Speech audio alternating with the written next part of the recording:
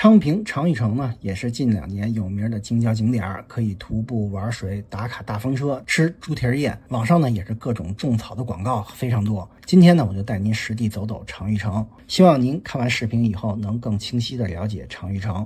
昌平长峪城村啊，历史上是明代保卫北京的重要关城城堡，三座边城之一。周边呢也是明代的长城，最知名的是昌平海拔最高的长城，叫高楼，海拔一千四百多米，也是知名的徒步路线，地图上叫黄楼洼。如今到长峪城的游客啊主要是登山打卡山上的大风车，以及在村里品尝猪蹄宴。长峪城村呢，位于昌平的最西端，紧挨着河北的怀来县，其实距离玩水的白杨沟啊并不太远。公交车呢有昌三十三路，但是由于路程太长了，往返至少需要六个小时，所以我就不推荐了。自驾车呢，您可以直接导航长峪城村，从北三环马甸到这里啊，大概一小时四十分钟。去长峪城的路上啊，您还能远远看到大风车，这些大风车啊属于河北的怀来。在长峪城村的村口啊设有停车场，周末游客多的时候啊，车只能停在停车场。停车场距离登山口呢有一点六公里，来回啊就是三点二公里。不过这段路呢，平时没有人管，我呢就直接开车进村了。明代时，成邑城城关啊就分新旧两座堡垒，两个堡垒加一块占地面积呢还挺大的。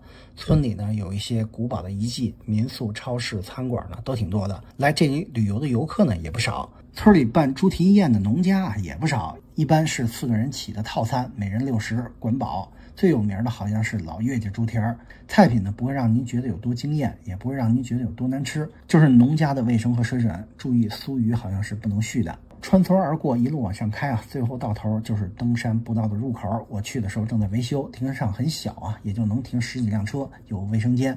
登山以后就再没有卫生间了。从停车场的台阶上山啊，右边是条水泥路，也能上山。个人感觉啊，还不如台阶路好走。反正两条路呢，最后都是汇合的半山腰。走到头呢，就是半山腰的水库。您看着感觉啊，离风车是越来越近了，实际上呢还远着呢。在水库边啊，我看到了猴子。下山的时候啊，有人专程来看猴子，结果没看到。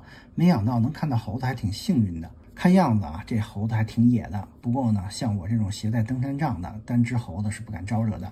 水库面积不小，水呢挺深的。看到有人在钓鱼，都是小鱼。水库边上写着禁止钓鱼。水里的蝌蚪呢也不少。网上有人呢种草过水库，拍照呢确实挺好看的。但实际啊，水深有专门的工作人员看管。您拍照可以，但想下水或者到水边就不行了。所以带孩子来水库玩水啊是不现实的，而且确实存在危险。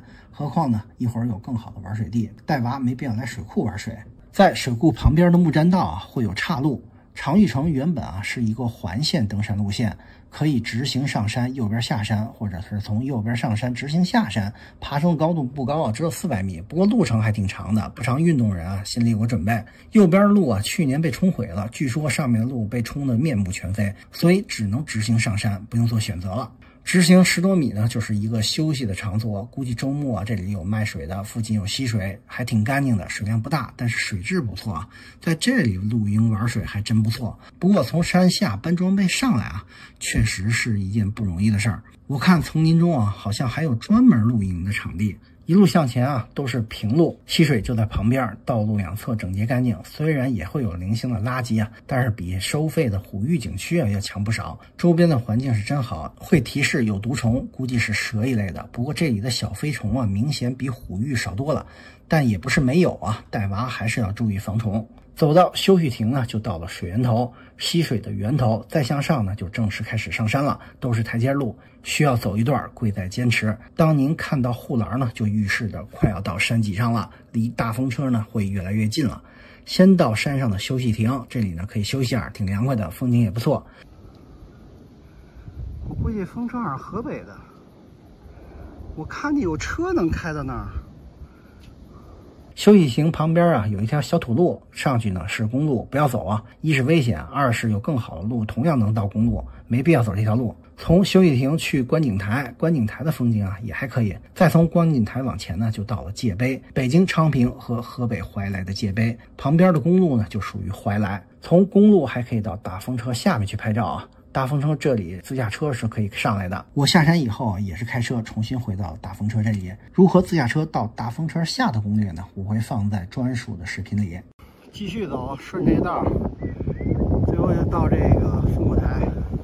从界碑可以继续往上啊，到烽火台，因为烽火台的风景啊最棒，看着高啊，有十来分钟就上去了。路况比较滑，反而是下山需要小心。得挂了多少个条啊？好家伙！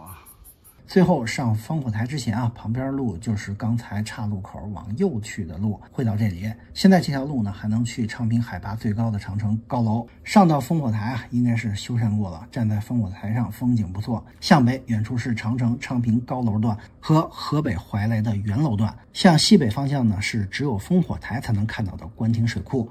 向南方向啊，就是来时候的长峪城村的水库。从登山口到烽火台啊，普通人单程在一个半小时到两个小时，不常运动的人啊需要两个小时以上。